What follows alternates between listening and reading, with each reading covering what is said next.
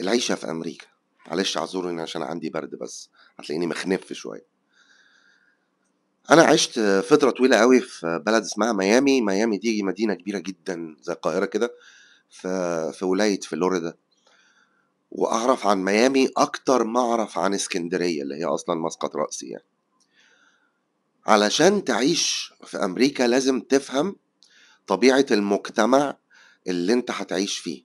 بمثلا ميامي يعني. ميامي مثلا مجتمع أغنياء قوي أو ناس بتمثل إنها أغنياء قوي. يعني في مثلا ناس بتأجر عربيات فارهة جدا لمدة يوم عشان يسبق بس الدور. يجيب له فيراري يجيب له لامبرجيني يجيب له المهم علشان يسبق الدور. بيخرجوا لابسين اللي على الحبل كله وكل واحد بيمثل إن هو celebrity أو إن هو يعني big deal أو إن هو حاجة كبيرة أو أو أو. فمجتمع بالمنظر ده عشان تعمل فيه business حاجة من الاتنين. يا هتلعب على الفقراء اللي بيمثلوا إن هم أغنياء أو هتلعب على الأغنياء بجد. يعني مثلا واحد مثلا راح جاب مثلا آه، خمس ست عربيات فارهة Lamborghinis Ferraris مش عارف إيه الكلام ده. وراح جاي آه، فاتح agence تأجير عربيات. ده هيكسب. وهيكسب كويس جدا. لأنه آه، هيلعب على الطبقة اللي عايزة تمثل إن هم أغنياء أو هيلعب على الأغنياء نفسهم اللي عايزين يأجروا عربيات زي كده يخرجوا بيها يروحوا الحفلات بتاعتهم ال meetings اللقاءات الكلام ده كله عشان يسبقوا الدور أو عشان يرسموا الدور. وفي طبقة تانية الناس اللي هي بتخدم الأغنياء. يعني مثلا إيه ميامي دي بالنسبة للأمريكان حاجة كبيرة جدا. يعني عايز أقول لك الناس بتحوش مثلا عمرها كله عشان تيجي تقعد عندنا أسبوع. البحر بقى والأفلام اللي اتصورت في ميامي وبتاع مش عارف إيه. يعني هي مدينة أصلا وتاريخها كبير في في المافيا والمخدرات والمش عارف إيه. فطبعا والأفلام ومشاهير ياما آه، عاشوا فيها وماتوا فيها. ويعني مثلا أرماني آه، مش عارف آه، مايكل جاكسون كان عنده شقة ستيف... آه، جوين ستيفاني عايشة هناك آه، شاكيل أونيل عندك آه، كمية مشاهير عايشين دونالد ترامب عايشين في ميامي بصفة دايمة آه، بالعبيط فلما يكون المجتمع بالمنظر ده أنت عشان تفتح بيزنس طبعا أنت لو بتدور على وظيفة ما انصحكش في المجتمعات الكبيرة دي لأن الفلوس أكتر بكتير من إنك تستنى آخر الأسبوعين ولا آخر الشهر عشان تقبض مرتب تافه لا هيفتح لك آم، يعني بيت ولا هيغنيك من جوع يعني. هيبقى كلام فارغ يعني. تاخد لك مثلا 20 دولار في الساعة. أنا كنت سنة 2006 ل 2009 بشتغل في في شركة ديش اسمها Dish Network. فكانوا بيدوني 23 دولار في الساعة وما كنتش وكنت مديون. كنت عايش في شقة أوضة وصالة ومديون. الحياة غالية جدا فأنت بتتكلم في في مستوى معيشة أنت عشان دول يبقوا جيرانك دونالد ترامب وجوين ستيفاني و... ومايكل جاكسون والناس دي لا الناس دي المحلات حواليهم غالية والدنيا كلها غالية فأنت بتتكلم في هو ده هو ده هم دول يعني أساس المجتمع الأغنياء ال celebrities المليونيرات. فحكاية إنك تجيب وظيفة دي فاشلة يعني ودي آخر وظيفة أنا أعتقد اشتغلتها كانت في 2000 و- وسبتها في 2009 ودي كانت آخر مرة اشتغلت عند حد وكانت شركة كبيرة جدا. أكبر شركة satellite في أمريكا هم أصلا أصحاب القمر الصناعي اللي فوق في السماء. فطبعا عرفت أو حسيت إنه العيشة هنا مش هتنفع على وظيفة فكان لازم أفتح business فقبل Airbnb ما يطلع كان في حاجة اسمها Craigslist تقدر تأجر أوضة من على Craigslist لشخص لشخصين أي حاجة يعني وبتاع. فبدأت أجر على آه، بقيت أجيب آه، فيلا أو يعني بيت house مش شقة. house مثلا ثلاث أوض وأجره زي Airbnb كده. بعدين طلع Airbnb فنقلت عليه لأنه كان Craigslist أنت قلقان على فلوسك يا ترى الزبون هيدفع؟ مش هيدفع؟ طب لو مش عايز يخرج همشيه إزاي؟ إنما Airbnb غناني عن كل ده يعني. مفيش أصلا تعامل بالفلوس. هو بيدفع من قبل ما يجي وفلوس بتخش في حسابي من غير ما اتكلم معاه في حاجة أنا بس أعمل له check in و check out يعني أدخله ولما يجي ماشي أبص أشوف هل في مثلا damage حصل كسر حاجة بتاع مفيش طب خلاص bye bye ويسيب لي review اسيب له review خلاص فالبيوت اللي كانت آه، في مناطق وحشة مناطق مثلا تعتبر خطر فيها آه، نسبة الجريمة عالية بتاع مش عارف إيه البيوت دي كانت أسعارها كويسة. فأنا دلوقتي بقيت أخد البيت ده أجره. فكان مثلا البيت يقف عليا ب 1500 دولار ثلاث أوض في الشهر. فآخد مثلا ليا أوضة والأوضتين التانيين أأجرهم فأقل أوتيل هيبقى مثلا ب 250 300 فبدأت أول ما أجر أعمل الأوضة ب 50 دولار 50 دولار في اليوم. 50 دولار في 30 يوم ب 1500 يبقى أنا كده دفعت إيجار البيت. والأوضة التانية 100% فلوسها مكسب ليا. فبعدين لما لقيت الدنيا ماشية كده قلت طب ما أنا أعمل أجيب بيت كمان وبيت كمان وبيت كمان لغاية ما وصلت لمرحلة أربع بيوت عندك حوالي 12 أوضة أنت واخد واحدة والباقي كله إيجار. أوضة بتدفع ال- ال- الإيجار وأوضة تانية بتدفع بتدفع إيجار البيت كله والأوضة التانية كلها بتبقى مكسب 100% مكسب. ف بدأت أعمل الموضوع ده مشي معايا جدا لأنه مفيش حاجة اسمها أوضة في ميامي ب ب 50 دولار في الشهر يعني آه، في اليوم. مفيش الدنيا غالية جدا يعني. فطبعا آه، بدأت لقيت نفسي غصب عني أو من غير ما أحس بشتغل على الطبقة ال- السياح اللي نفسهم يقضوا وقت في ميامي ومعهمش يدفعوا 300 في اليوم. وفي نفس الوقت آه، شغال على آه، ناس تعتبر فقراء لأنه مفيش حد مليونير هيجي ياخد عنك ب 50 دولار في اليوم. مليونير بينزل في في أوتيل ب 300 دولار في اليوم عادي وبيقعد الأسبوع بتاعه وبيمشي. بدأت ال ال ال ال ال ال الزباين اللي عندي دول أقول لهم لو محتاجين حاجة كلموني فبيحبوا عايزين مثلا يروحوا يتفسحوا في ميامي يروحوا مثلا جنينة الحيوانات يروحوا البحر يروحوا مش عارف إيه. وأنا عندي عربية وهم جايين طيران ونازلين عندي وركبوا أوبر وبتاع فبقيت أقول لهم شوفوا أوبر هياخد منكم كام؟ وأنا هاخد أرخص لأن أوبر بيخصم 60% من فلوس السواق لنفسه في أمريكا. فأنا لو شلت لهم 10% أنا الكسبان. فاهم؟ أنا ما كنتش بشتغل اوبر أنا أنا يعني هوصلهم حبي ما بيني وما بينهم وهاخد الفلوس كاش أو عن طريق التحويل أو أي حاجة. فبدأت أعمل من ال- الزباين دول آه، آه، زباين للعربية. نفس الناس أنت مسكنها عندك وكمان مشغلة في العربية. مشغلهم على العربية عايزين يروحوا أي حتة أنت بتوصلهم وتستناهم أو وريفر على حسب الاتفاق أو ترجع تاخدهم وقت تاني وبتاع. وتعمل فلوس من البيت والعربية من غير شغل. فلوس كويسة جدا جدا جدا. تبدأ بقى إيه الفلوس تتراكم عندك لأن أنت خلاص دافع كل اللي عليك. وبيجي لك دخل جامد. طب هل هي هتبقى متأجرة الشهر كله؟ آه. ليه؟ لأن أصلا مفيش حاجة اسمها 50 دولار ولا 60 دولار في الليلة في ميامي. بالذات في ال high season اللي هو وقت الشتاء. في الشتاء ميامي حر ودافية وأمريكا كلها مجمدة وتلج. فالسيزون عندنا لغاية شهر أربعة. بعد شهر أربعة بتبقى خرابة. كل الناس بتمشي وتسيبها. لأن اللي هي هي مشتى. الناس بتيجي في الشتاء. الصيف في ميامي حر وأعاصير ومطر وبتاع. أقوم كاسر العقود اللي أنا بعملها بتاعت البيوت دي كلها وطالع على يعني آه، ولاية تانية تكون بتشتغل في الصيف. زي مثلا ساوث كارولاينا فبقيت ست شهور أعيشهم في ميامي وست شهور أعيشهم في ساوث كارولاينا علشان خاطر ال business بتاعي يستمر السنة كلها. وطبعا بنقل ما بين الولاية والولاية ده كان بيبقى صعب بس كانت متعة بالنسبة لي لأنه محدش جابرني على اللي أنا بعمله.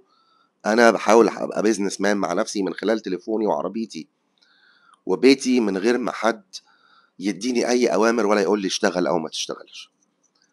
وفعلا الدنيا مشيت معايا على كده وقعدت على كده سنين طويلة لغاية ما الكورونا جت في 2020 فعايز أقول لك لازم تفهم المجتمع اللي أنت فيه عقدته إيه. معظم عقدة آه، أمريكا السكن السكن دايما غالي في أمريكا وبتاع مش عارف إيه. ولو توفر السكن هتتوفر حاجات كتير جدا. لأنه كل حاجة سهلة بعد كده الشغل سهل والسفر سهل وال... والأوراق بالمحامي تبقى سهلة و... والدنيا متظبطة وأمريكا عاملة حساب كل الناس فاللي هو إيه عاملة حساب كل المواقف يعني اللي الناس بتتعرض لها. فتبص تلاقيهم آه... آه، لو مجرد ما تعرف السكة خلاص تمشي يعني. وطبعا لا في عرب ولا مصريين ولا ماليش دعوة بحد خالص أنا بشتغل مع الزباين ايا كان جنسياتهم بييجوا يسكنوا عندي وخلاص على كده. وبقبض وقاعد ما بشتغلش. شوية تعمل يوتيوب فيديوهات شوية تشتغل بعربيتك شوية تشتغل تأجير بيوت شوية تسافر ولاية تانية منها تغيير جو ليا وتعمل صداقات كل أنحاء العالم، ما اللي بييجوا دول سُيّاح. يا سُيّاح يا طلبة يا بتاع بيسكنوا عندك، لإنه ما فيش حاجة اسمها 50 $50 في اليوم في ميامي يعني، واللي جاي عامل حسابه إن المدينة غالية. فأنت كواحد resident هنا أو ساكن هنا و ومشغّل الدنيا دي كلّها، أنت مستني الفلوس دي تيجي، وبتيجي. لإن هي مدينة مركزية، جنبها 3 مطارات دولية، ميامي آآ ميامي international airport، فورت لودرديل international airport، وwest palm beach أو palm beach international airport. فأنت عندك 3 مطارات دولية عمّالين يكُبّوا عليك ناس يوماتي كل يوم، فأنت بتتحجز ال ال ال بالذات لو سعرك كويس، الموسم كلّه. وأول ما الحجوزات تُعرف تُقف، هو أنت بتعرف إن دي بداية ال الصيف الصيف يعني اللي هو الجو الوحِش، فما فيش حد هييجي هنا، فتقوم لامم بعضك وطالع على حتّة تانية، أو ممكن بقى اللي عايز يصبر في الlow season. بس كده بقى إيه، لو فضلت مخلّي البيوت دي فاضية، إيجارها ومَيّتها وكهربتها والبتاع هياخد مكسبك اللي أنت عملته خلال الشتا. فأنا باقفل وأكمّل في حتّة تانية، لإن أنا فرداني ولوحدي وما فيش مشكلة يعني، وده على فكرة business ممكن أي حد يدوّره بنَفْسه يعني، ما أنتاش لازم تجيب عُمّال، ما فيش أنت مش محتاج حاجة يعني، حتّى لمّا الزبون بييجي ينام في الأوضة ويمشي، يعني أنت بتشيل الملايات تغسلها وهو بيحُط ملايات تانية زي أي أوتيل وخلاص على كده، فيعني أنت حرفيًا ما بتبيعش حاجة، ما فيش مخلوق بياخد حتّة من الأوضة وهو ماشي، واخد بالك؟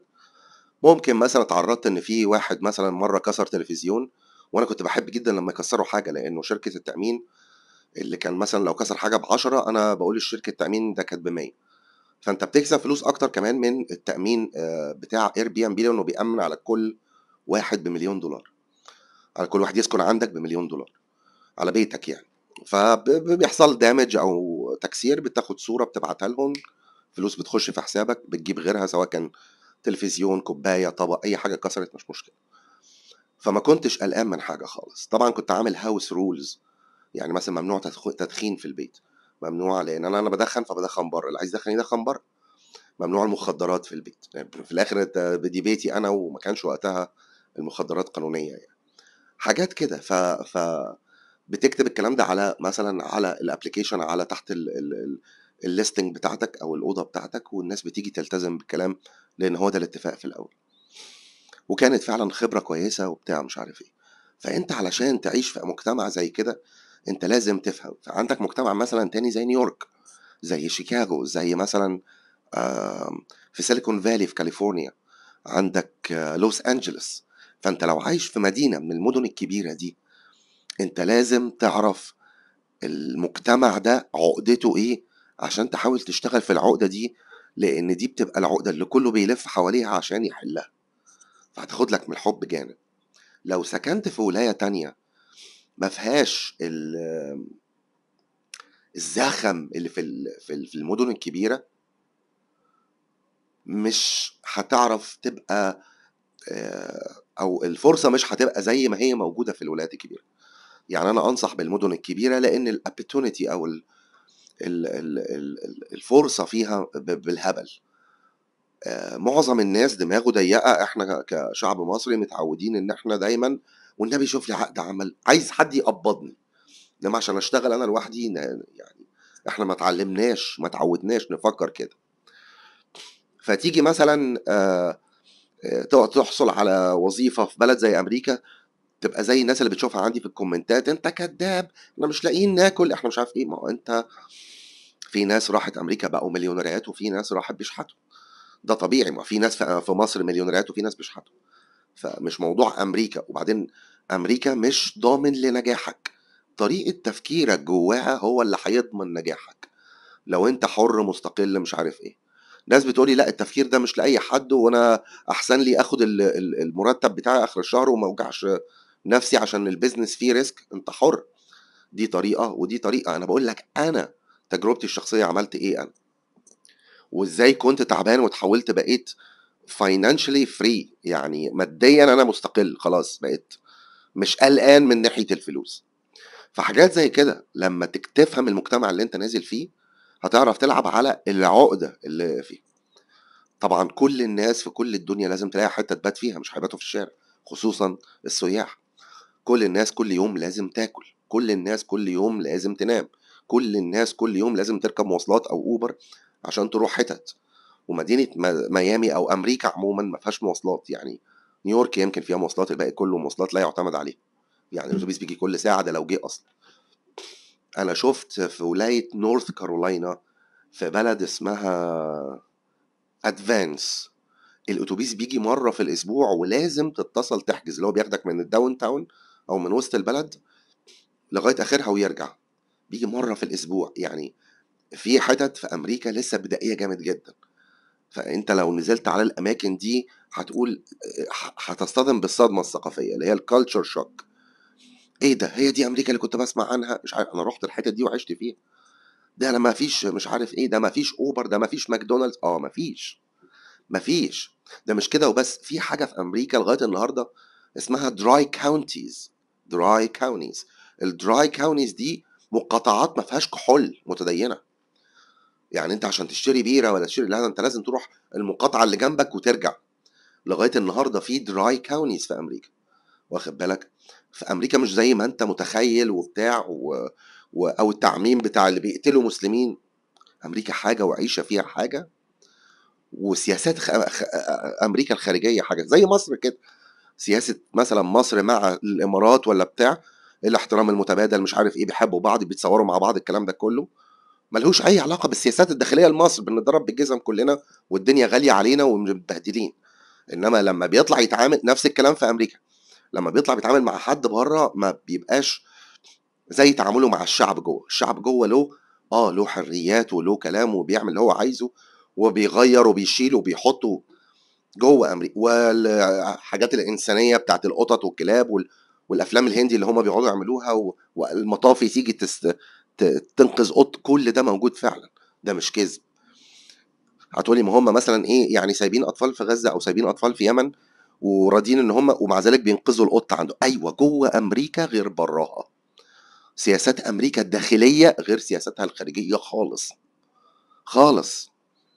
أمريكا بتحاول على قد ما تقدر تدلع الشعب لأن هي اتبنت على الدلع هي اتبنت على كده. وهم عايزين يعيشوا عيشة مرفهة عايزين عايزين يعيشوا كويس وعايزين يعيشوا في احترام وعايزين يعيشوا في حقوق. فمش معنى إن أمريكا بره سياستها زي الزفت يبقى هي بتعمل كده في اللي جوه؟ لا خالص. مالهمش الاثنين مالهمش أي علاقة ببعض. حاجات كده. فأنت بتتكلم مثلا في في مجتمع جديد أنت رايح عليه حاول تقعد فترة ما تعملش حاجة خالص سنة أو اتنين خليك في وظيفة ولا بتاع لغاية ما تفهم الدنيا هنا ماشية إزاي المجتمع ده طبقاته إيه؟ طب أنا هبقى في أنهي طبقة من دول؟ هتبص تلاقي واحد فاتح بيتزا ناجح وواحد تاني مصري برضه فاتح بيتزا فاشل محل بيتزا أو مطعم يعني. هتبص تلاقي واحد عنده أوتيل ناجح وواحد تاني ما عندوش ولا ساكن.